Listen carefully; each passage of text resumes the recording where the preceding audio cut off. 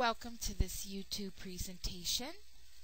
We will be learning some powerful information today. Our title is We Must Study the Scriptures with the Aid of Our Publications. We are to read the Spirit of Prophecy and the Pioneer Writings to know what is the truth established from the beginning. I'd like to start with a word of prayer. Dear Lord in heaven, we thank you for this day and we ask that you be with us now. Please forgive us of our sins and may what we learn today, may we comprehend it. Send your Holy Spirit to be with us to give us understanding. And may everyone who views this video share it with their friends and family. We thank you and we praise you in Jesus' name. Amen. Going on to our topic for today. As the end draws near and the work of giving the last warning to the world extends, it becomes more important for those who accept present truth to have a clear understanding of the nature and influence of the testimonies which God in His providence has linked with the work of the third angel's message from its very rise. Well, we're here at the very end of time, brothers and sisters, and it's very important for those of us who claim present truth to have a clear understanding of the nature and influence of the testimonies that God has linked with the work of the third angel's message from its very rise. And we cannot separate the testimonies from the third angel's message. That's Testimonies, Volume 5, page 654, paragraph 2. Men may get up scheme after scheme, and the enemy will seek to seduce souls from the truth. But all who believe that the Lord has spoken through Sister White and has given her a message will be safe from the many delusions that will come in these last days. So it is the Lord who speaks through Sister White. It's not the testimony of Sister White, but the testimony of Jesus. And that's Selected Messages, Volume 3, page 83, paragraph 5. The Spirit of God is grieved away from the meetings when brethren make war upon those who believe that God has communicated light and comfort to them through the testimonies. It is time for the brethren and sisters to assert their liberty and perfect freedom of conscience. God has given them light, and it is their privilege to cherish the light and to speak of it, to strengthen and encourage one another. Brother J would confuse the mind by seeking to make it appear that the light God has given through the testimonies is an addition to the Word of God. But in this he presents the matter in a false light. God has seen fit in this manner to bring the minds of his people to his word, to give them a clear understanding of it. Remember, we're to know the nature of the testimonies um, and their connection to the third angel's message. They are not an addition to the Word of God. God is making, bringing our minds to His Word to give us a clearer understanding of it. Testimonies, Volume 4, page 245, paragraph 3. The enemy has made his masterly efforts to unsettle the faith of our own people in the testimonies. And when these errors come in, they claim to prove all the positions by the Bible, but they misinterpret the scriptures. They misapply the prophecies and the scriptures to prove falsehood. And after men have done their work in weakening the confidence of our churches in the testimonies, they have torn away the barrier that unbelief in the truth shall become widespread, and there is no voice to be lifted up to stay the force of error. Many who claim to bring positions or stand behind positions that are contrary to the spirit of prophecy will say we don't need the spirit of prophecy, Bible and Bible alone. But according to the prophet, these people are going contrary to what's in the Bible. They're misapplying the prophecies in the scriptures to prove falsehood. And the testimonies are called the barrier. It's the voice to be lifted up to stay the force of error. That's three selected messages, page 83, paragraph 3. You can't use the testimonies to support what you believe for one thing and then not use them when they don't agree with what you do believe. That which you term light from heaven, he has pronounced darkness, and the visions born of this error he calls a delusion. Will you believe this testimony? Will you heed what the Lord has spoken through Sister White, or will you cast the word of the Lord behind you? Will you quote this testimony as readily and make capital of it as you have of testimonies or of reproof given your brethren who have erred in some things? O consistency, thou art a jewel. So, according to Christ through the prophet, you can't use the testimonies to support one thing and then not use it to support something that doesn't agree with you. That's not consistency. And we're told, Oh, consistency, thou art a jewel. Second selected messages, page 82, paragraph 1. Besides the instruction in His Word, the Lord has given special testimonies to His people, not as a new revelation, but that He may set before us the plain lessons of His Word, that errors may be corrected, that the right way may be pointed out, that every soul may be without excuse. Three selected messages, page 31, paragraph 3. That word besides means there's something else. So besides the scriptures, God's given us testimonies, not as a new revelation, but to set before us the plain lessons of His Word, so that errors may be corrected and the right way pointed out. When any person comes with some new theory of that which he calls new light, I tell him I know he has not the truth. I refuse to go into an argument with those who oppose the truth, but call their attention to the publication of the truth given me which has been written under the Holy Spirit's representation. If they will carefully read Great Controversy, the Testimonies for the Church, Patriarchs and Prophets, Desire of Ages, and all the many books that are in circulation, that bear testimony to the truth given at varied times and in varied places over a period of half a century, they would not be entering into temptation and walking in false paths where some are today. She wrote this in 1906.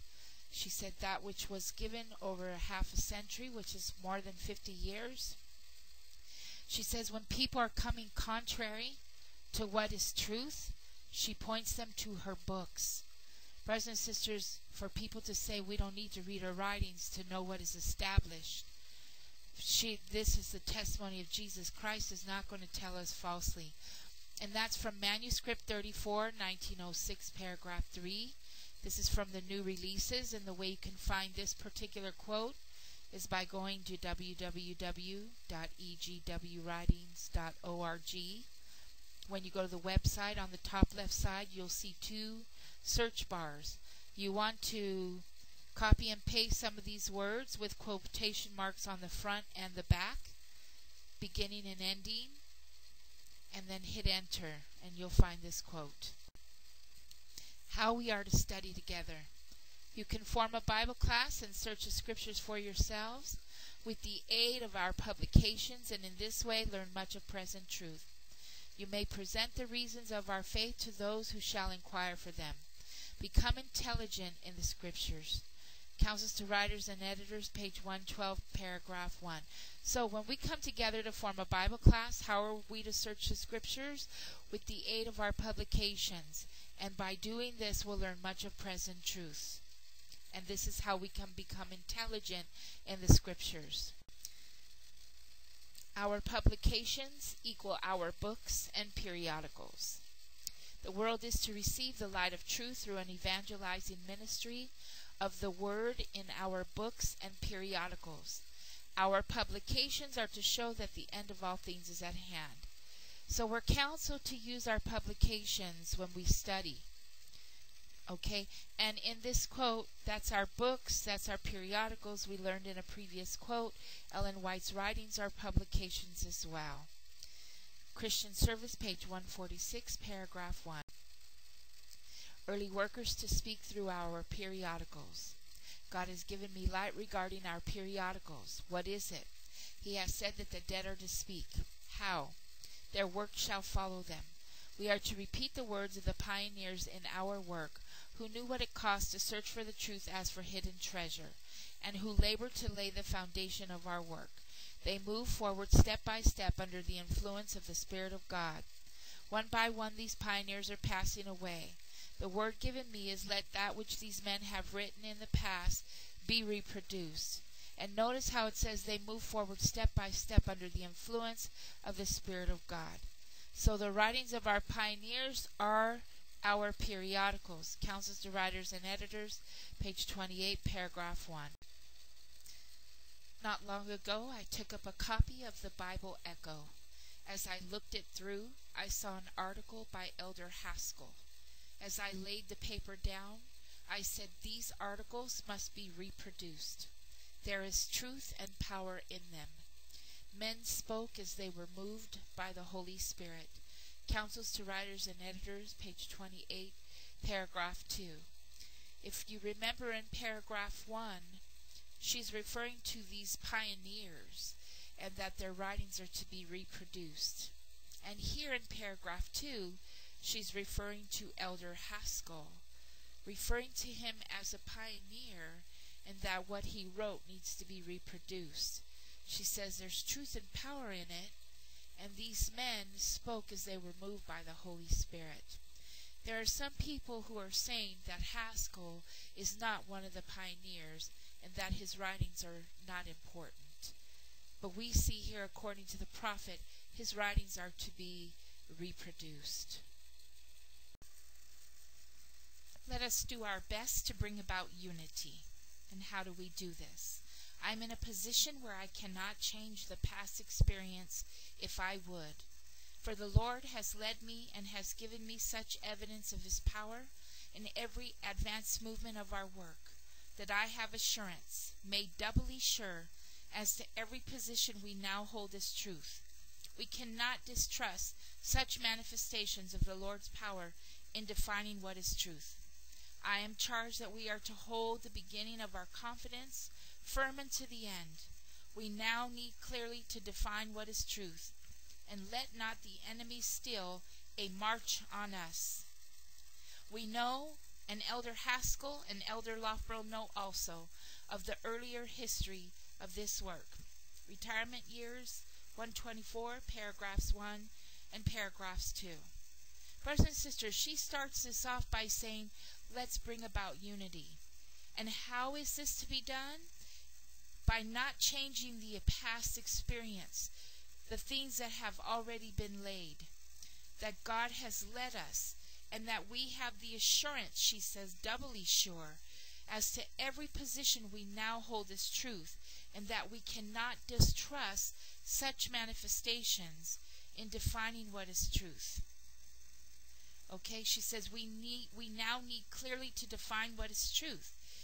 In the second paragraph, it says Elder Haskell and Loughborough know of the early history of this work, that they are in unison, that they know this truth. So we need to be reading these men's books. Um, Elder Haskell shares something very profound in his book, Story of Daniel the Prophet, page 246 to 248. I highly recommend everyone read that. Read those three pages. I think you'll find them quite profound and very interesting. Also, um, also Loughborough has a book called The Great Second Advent Movement. See also Counsels to Writers and Editors, page 145, paragraph 2, and Evangelism, page 111, paragraph 2.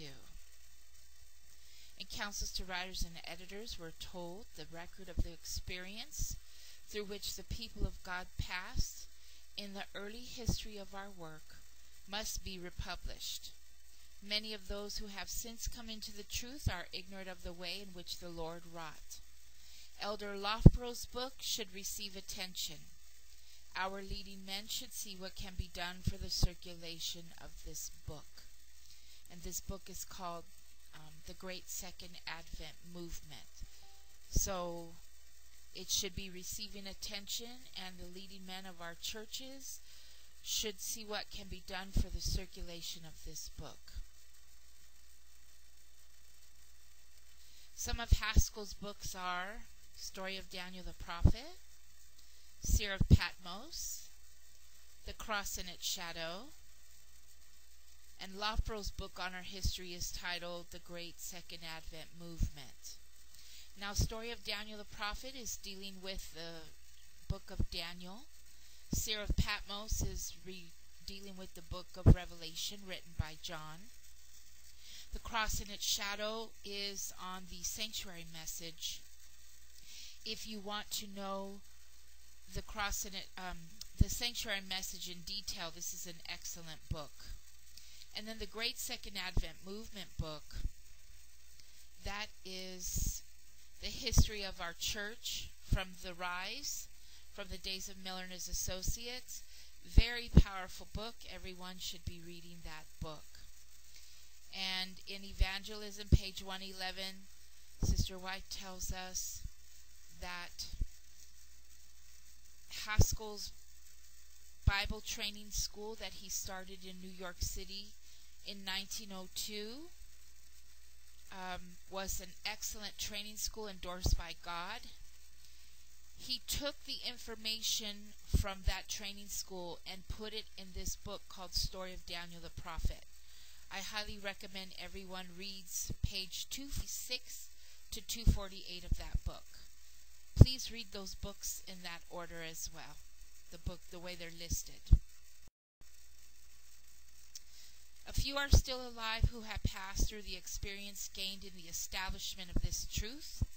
God has graciously spared their lives to repeat and repeat to the close of their lives the experience through which they passed, even as did John the Apostle, till the very close of his life. And the standard bearers who have fallen in death are to speak through the reprinting of their writings. I am instructed that thus their voices are to be heard. They are to bear their testimony as to what constitutes the truth for this time. We are not to receive the words of those who come with a message that contradicts the special points of our faith. They gather together a mass of scripture and pile it as proof around their asserted theories. Counsels to Writers and Editors, page 32, paragraphs 1 and 2. So we are to read these men's writings and they are to bear their testimony as to what constitutes the truth for this time. And so those who say Bible and Bible alone are rejecting what the prophet tells us. These pioneers have established what is truth. The very same Satan is at work to undermine the faith of the people of God at this time. There are persons ready to catch up every new idea the prophecies of Daniel and the Revelation are misinterpreted. These persons do not consider that the truth has been set forth at the appointed time by the very men whom God was leading to do this special work.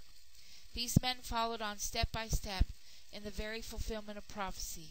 And those who have not had a personal experience in this work are to take the word of God and believe on their word, who have been led by the Lord in the proclamation of the first, second, and third angels' messages.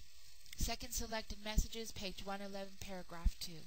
Brothers and sisters, Christ is telling us through the prophet that people coming with new messages, contrary to what these pioneers have come together and established as truth that the prophet has endorsed, okay? They're speaking contrary to this. And they don't these persons do not realize that the truth has been set forth at the appointed time. Notice she says the prophecies of daniel and the revelation are misinterpreted okay? We're going to see who did god raise up to give us such clear understanding of the prophecies of daniel and the revelation. According to the prophet these men who've been raised up we are to believe on their word who have been led by the lord in the proclamation of the first second and third angel's messages. Second selected messages, page 111, paragraph 2. Satan will seek to divert the minds of those who should be established, strengthened, and settled in the truths of the first, second, and third angel's messages. The student should carefully study Daniel and the Revelation so that they shall not be left in darkness, and the day of Christ overtake them as a thief in the night. I speak of this book because it is a means of educating those who need to understand the truth of the Word. This book should be highly appreciated. If the youth will study this book and learn for themselves what is truth, they will be saved from many perils. One manuscript release, page 63, paragraph 4. In the previous quote, we learned that we are to be established in the first, second, and third angels' messages. And now, in this quote as well, and she's connecting the book of Daniel and the Revelation by Uriah Smith as being a book to read to be settled in those three messages. And notice how she says, They shall not be left in darkness, and the day of Christ overtake them as a thief in the night. So, what topic does Thief in the Night deal with? It deals with the second coming of Christ. According to Jesus, through the prophet, we're supposed to read Uriah Smith's correct Daniel the Revelation book so that Christ doesn't come to us as a thief in the night. So we're to understand what he wrote of the signs and events leading right up to Christ's coming. She says she speaks of this book because it's a means of educating those who need to understand the truth, not error, of the Word, and that this book should be highly appreciated. Have you read the correct edition? Or have you read the incorrect editions? If you've not read the correct 1897 edition, which I will be posting the link, you really need to read that book. And reading this book is going to prevent people um, from being in perils. It'll save them from many perils. Especially should the book Daniel and the Revelation be brought before people as the very book for this time. This book contains the message which all need to read and understand. It will be a power to enlighten the world. The Lord has shown me that this book will do a good work in enlightening those who become interested in the truth for this time. Those who embrace the truth now, who have not shared in the experiences of those who entered the work in the early history of the message, should study the instruction given in Daniel and the Revelation, becoming familiar with the truth it presents. First manuscript release, page 60, paragraph 6, and 61, paragraph 1. Notice how she starts the first paragraph off with especially. So, like of all books, this is like the one that should be going out. Okay, it should be brought before the people as the very book for this time. Everyone needs to be reading this book. It will be a power to enlighten the world. We need to read it and understand it. We're counseled that this book is going to do a work enlightening those who become interested. Those who embrace the truth now, this is the book that they need to be reading. They should be studying the instruction given in this book, becoming familiar with the truth, not error, as many claim that it presents.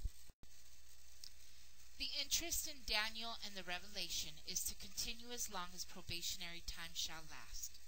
God used the author, Uriah Smith, of this book as a channel through which to communicate light, not darkness, to direct minds to the truth, not error. Shall we not appreciate this light, which points us to the coming of our Lord Jesus Christ, our King? First Manuscript Release, page 63, paragraph 1. So, according to Christ through the prophet, the interest in this book is to continue as long as probation lasts. God used Uriah Smith as a channel to communicate light to the people. So it was Uriah that God used to get this information out. This is truth and not error. And we're supposed to appreciate this light. And we learned early, highly appreciate. And this book points us to the coming of our Lord Jesus Christ, our King. So this book points us and leads us up to the coming of Jesus Christ. Here is a link to the correct edition. The 1912, which has removed many paragraphs and has added things that Uriah did not write, as well as the 1944 edition, which has taken out a lot of what Uriah has written and added a lot of things he has not written. So this is the correct link to this book. So you see, brothers and sisters, in order to clearly comprehend what the scriptures have already laid out for us, we must read the writings of Sister White, who Christ spoke through. We must also read the writings of the pioneers. Jesus tells us through the prophet that by studying this way, we will be grounded in present truth and will not be going contrary to the foundations that have already been laid. It is true that not one pioneer was infallible, and all have made mistakes. But if the prophet endorses a book they wrote and says the Holy Spirit was with them, then we can trust that book. And make sure you go read 10 manuscript releases, all of page 49 and all of page 50. If she tells us certain doctrines of prophecies that they agreed upon were truth, then we can trust its truth because the testimony of Jesus says it is. Satan's last work in the church is to make the testimonies of none effect by making it as if they are not the Word of God and really not that important, when indeed they have the final say so as to what is truth and what is not truth. The very last deception of Satan will be to make of none effect the testimony of the Spirit of God. Where there is no vision, the people perish. Proverbs 29:18. And this can be found in First Selected Messages, page 48, paragraph 3.